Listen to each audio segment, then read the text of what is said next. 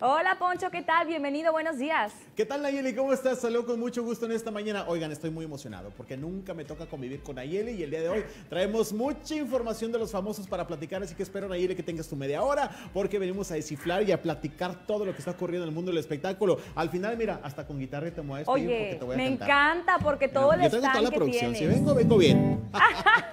Oigan, nos vamos, información, nos vamos yendo ya con la información de los espectáculos. Déjenme pongo aquí la guitarra. Vamos a platicar de música. Y es que el día de ayer, justamente, la banda de Killers llegó a la Sultana del Norte para presentarse en su primera de dos noches aquí en la Sultana del Norte. En esta deuda que tenían justamente con el público regimontano ya de hace mucho tiempo. ¿Por qué? Porque justamente, pues bueno, ya era un concierto que tenía ya su tiempecito que habían pospuesto debido a la pandemia. El día de ayer llegó la banda de Killers, dijo, estamos vivos y estamos felices de reencontrarnos con ustedes. Estuvieron obviamente presentando lo mejor de su música, éxito tras éxito. La agrupación inició su velada en punto a las 21.30 horas y bueno, Brandon Flowers junto a todos sus compañeros de verdad. Los que hemos vivido un concierto de The Killers sabemos que también son de las mejores bandas eh, pues de música de rock a nivel mundial. Esta banda original de Las Vegas ayer recetó lo mejor de sus temas como estamos viendo en pantalla. My Own Soul Warning, When You Were Young, Humans, todos esos temas que la verdad nos ponen a bailar y cantar como locos. Pues sí, justamente eso sucedió el día de ayer. Vamos a escuchar parte de esta presentación de la primera noche de The Killers en la Sultana del Norte.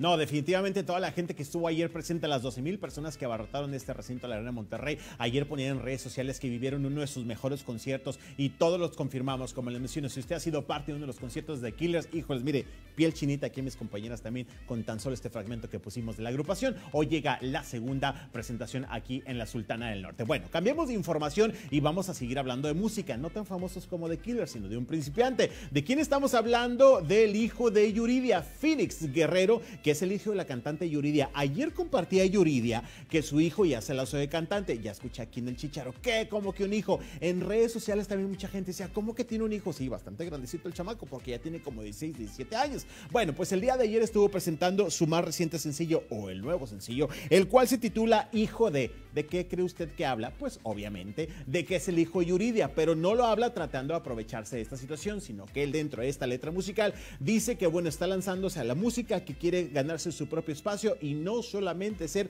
el hijo de. Así dice justamente la canción, refiriéndose a la cantante Yuridia. Ayer fue ella quien compartía parte de este video a través de las redes sociales y él pues está muy feliz también de llegar ya de lleno al mundo de la música. Es pues esos corridos como, como están ahorita eh, de moda, corridos tumbados. Ahí en redes sociales había muchos comentarios en contra, porque la verdad es que decían, no, hombre, este muchacho no sacó el talento de su mamá. Es que ya sabe que esos corridos tumbados, pues no es necesariamente cantar, ¿verdad? Porque creo que cualquiera aquí podemos cantar.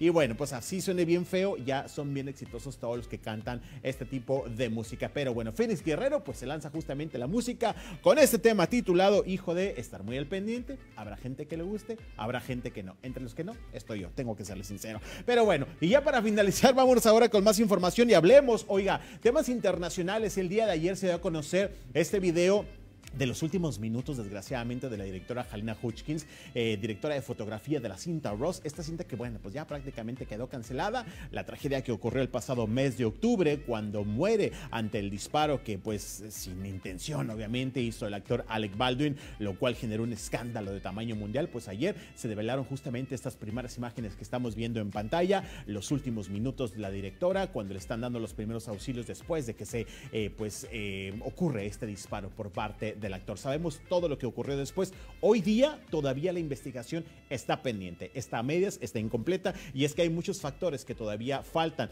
Eh, se tiene que investigar el teléfono del actor que tiene mucho tiempo que se dice que ya tiene que entregarlo, pues todavía no. Miren, vamos a ver parte de estas imágenes que ayer se compartieron a través de las plataformas digitales.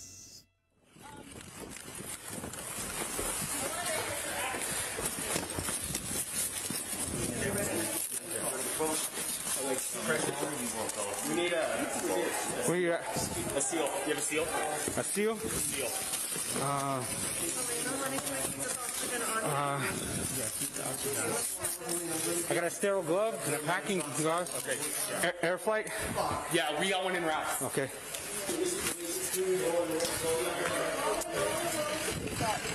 Thirty-two Santa Fe. One female shot in the chest. Male shot in the stomach. Request an air flight. Qué Bueno, fuertes imágenes, Poncho, porque estas imágenes no, no las sabíamos. Obviamente lo habían contado, tú no los habías contado aquí en Ciber TV Noticias Monterrey, pero ya verlas precisamente a la directora moviéndose en el lugar, también a, precisamente de fotografía, a todo el stand, eh, toda la policía, el movimiento también de 911, es realmente muy impresionante estas imágenes. Totalmente. Y lo que también muchas personas decíamos ayer cuando veíamos este video, se veía en sus cinco sentidos la directora. Obviamente nadie puede saber qué es lo que estaba pasando en ese momento, aunque lo podemos más o menos imaginar, pero se veía consciente, se ve donde mueve la cabeza, como que se escucha que está hablando con los paramédicos que le están dando los primeros auxilios. Y bueno, desgraciadamente todos eh, ya sabemos cuál fue el trágico final de esta situación, pero bueno, sin duda estas imágenes han dado mucho de qué hablar y como mencionamos, la investigación aún sigue. Ayer que se divulgaron estas imágenes, justamente dijeron en qué paso van, en qué proceso van. Están a medias, yo creo, en esta investigación faltan muchos puntos por concretar y por supuesto que estaremos muy al pendiente para ver cuándo termina este caso y cuál es la resolución. Recientemente, pues había dado un informe por parte de autoridades, pues bueno, no tan oficiales Nuevo México, donde se decía que el actor Alec Baldwin, pues era una víctima también porque había utilizado una arma simplemente siguiendo las indicaciones como Claro. actor y bueno, ahora en sí faltan las, eh, pues ahora sí que la investigación de la policía de Nuevo México para que pues detallen y definan quiénes son los culpables de esta tragedia. Pero bueno, pues así la situación y por supuesto que nosotros vivan pendiente de esto y de todo lo que ocurre en el mundo del espectáculo. Oye, Poncho, la verdad yo te felicito porque me encantó la sección, me encanta también el stand que tienes ahí atrás y enhorabuena que sean muchos en vivo de esta manera, seguir nosotros aquí colaborando con mucha información de espectáculos. Muchas gracias y bueno, pues nosotros vamos a estar al pendiente. A mí me encantaría tener mi programa de media hora, pero tengo que dar espacio a mi compañero Rafa, que le veo muy triste de aquel lado. Así que bueno, pues regreso contigo. Próximamente aquí te invito en un cafecito, una guitarrita y echamos el chat mucho más a gusto. Ya, ya se está poniendo celoso Rafa. Muchas Ahí gracias, Eh, Poncho. La lágrima hasta aquí la veo. Démosle unos minutos a mi compañero. Regreso contigo, Nayeli.